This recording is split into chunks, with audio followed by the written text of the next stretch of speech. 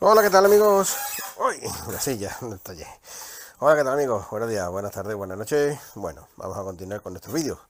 Espero que estéis todo bien. Un saludo, soy José María Méndez, alias Ribu, para los que ya me conocéis. Y bueno, como estáis viendo en pantalla, pues vamos a hacer un vídeo de, de una de las cosas que yo pensaba que estaba hecha, pero claro, ya vamos por 22 o 23 microcontroladoras y alguna cosa se me escapa. Y se me escaparon dos de ellas, que una es la Raspberry Pipico y la otra la Tetwin 68. Vamos a ver cómo alimentamos a estas dos placas. En principio, el de, el de hoy vamos a ver cómo alimentar la Raspberry Pipico. ¿Vale?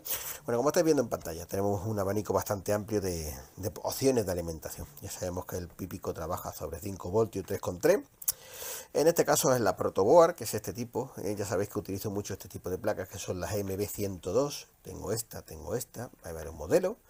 Las localizáis por MB102.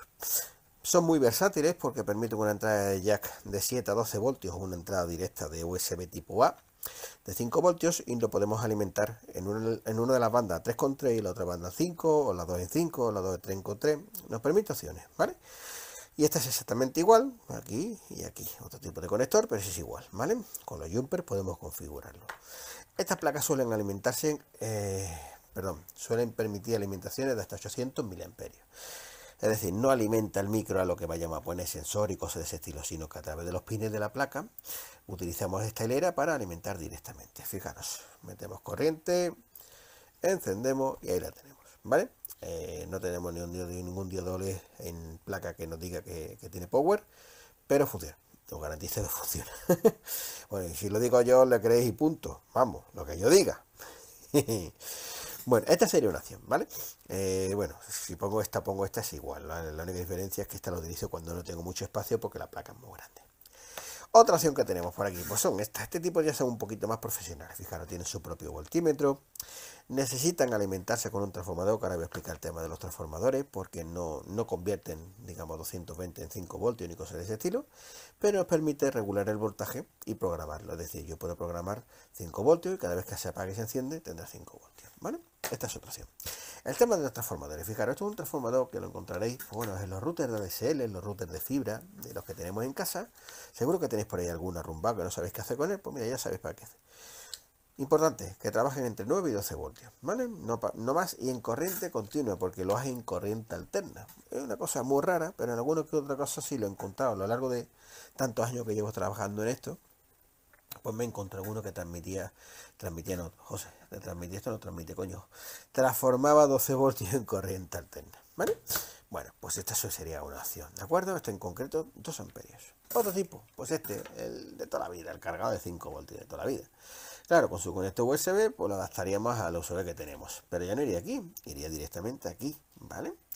Entonces alimentaremos la placa. Inconveniente que luego si queremos sacar voltaje lo tenemos que hacer a través de, la placa, con lo que ya sabéis que tenemos limitaciones en cuanto a amperios y cosas de ese estilo, que pueden hacer que tenga una mala costumbre estas placas, que es que empiezan a echar humillo cuando gastamos más de la cuenta.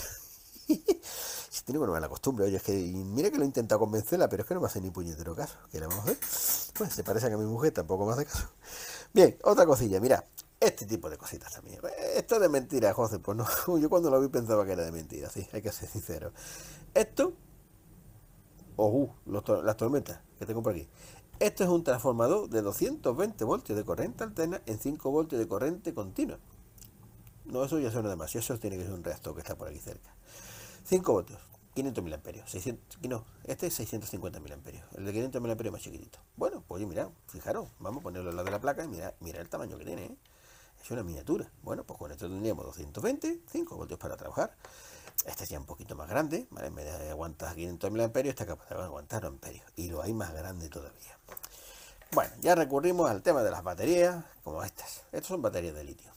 Polímero de litio, litio-ion, y bueno, estas en concreto son de 3,7 voltios. El tamaño solamente varía el amperaje, es decir, no varía, son de 3,7 voltios, solo que este permite, por ejemplo, 1200 mAh, un amperio y pico, y este aguanta pues 400 mAh. ¿Y qué hacemos, José? Pues bueno, muy fácil, ponemos dos en serie, el negativo de una, positivo la otra, el positivo de un lado, el negativo del otro, y tenemos la suma de los dos, 3,7, 3,7, 7,14. Bueno, pues ya podemos alimentar aquí, ¿eh? O bien en algunas microcontroladoras a través del VIN. Importante, este, este, nuestro amigo Raspberry Pipico tiene un pin que se llama VSIS. Bueno, Algunos me comentasteis al principio que os, pasó, que se, puso hecha humo cuando le pusiste el voltaje, ves que veréis, el V6 permite un voltaje entre, si mal no recuerdo, ya digo, tengo tantas controladoras en la cabeza que ya a veces me lío, pero si mal no recuerdo permitían de 1,8 voltios a 5,5 voltios. Sí, sí, este es un campeón. El si le metes 1,8 funciona. ¿Por qué, José? Porque tiene un step up, un elevador. Eso lo veremos más adelante, que es un poquito complicado. Y lo veremos más adelante en un vídeo específico que voy a crear, para el tema de los elevadores. ¿Vale? Pero, perdón, acordaros de que como máximo 5,5 voltios. ¿eh? Importante. Y el pin de 5 voltios, pues 5 voltios. Y una que yo utilizo mucho más es esta. ¿Por qué, José? Porque es muy versátil muy independiente, una pila de 9 voltios, la compramos en cualquier supermercado, en cualquier lado. Oye, mira, la pinchas, anda y a correr, ¿vale? Nos permite llevarlo a cualquier lado. Es muy, muy, muy cómodo. Yo lo utilizo bastante. Y tengo la misma, pero en modo batería. Por ejemplo, esta tiene 5500 mAh, 5 amperios y medio. Esto tiene para darle, para darle tela, ¿vale? Y tiene la ventaja de que es recargable, es una batería de litio. Está recargable, tiene su cargador y la puedo poner a cargar. Me la puedo llevar, me traigo otra cargada y la cambio. Con lo que tiene sus ventajillas, ¿vale? Y la independencia de poder llevarte esto a mitad de campo, por ejemplo. Bueno, pues como habéis visto, tenemos un montón de opciones, tenemos muchas más, que iremos viendo más complicadas, más avanzadas te permiten más cosas, ¿vale? Saca de 3,3, saca 5 voltios, saca 9, saca de 12, ya lo veremos, ¿vale? Y todo lo contrario, de 12 bajar a 5, bajar a 3,3, que son los step down. Pero bueno, eso lo veremos en otro vídeo, que ya me enrollo mucho y no me gusta enrollarme. Amigates, si tenéis cualquier problema, cualquier duda, no le da la gana funcionar. Mira, cosa que esto no funciona, tío. Pues me mandáis un mensaje a un vídeo al vídeo no, a la descripción del vídeo, o oye, mira, tenéis el WhatsApp, el Facebook, el Messenger, tenéis un montón de formas de poner en contacto conmigo. Y ya sabéis que, oye, tardará un poquito porque tengo muchas consultas todos los días, pero siempre os contesto, ¿vale? Pues que, oye, que un saludo a todos, nos vemos la próxima y espero que os haya gustado el vídeo. Por cierto, suscribiros, amiguete, ya vamos más de 1400 a cuenta amigos, 1450 amigos ya suscritos. No hace falta que os suscribáis, ¿eh? yo todo lo que os pongo os lo pongo directamente sin, sin, necesidad de que os suscribáis, ¿vale? No es una cosa, un requerimiento, ¿de acuerdo? Pero oye, mira, si os suscribís, pues mira, me viene muy bien, porque ya sé más o menos por dónde van los gustos, por dónde van los intereses, las necesidades, y al mismo tiempo, oye, ayudáis a que el canal crezca, ¿vale? Bueno, un saludo a todos y nos vemos la próxima.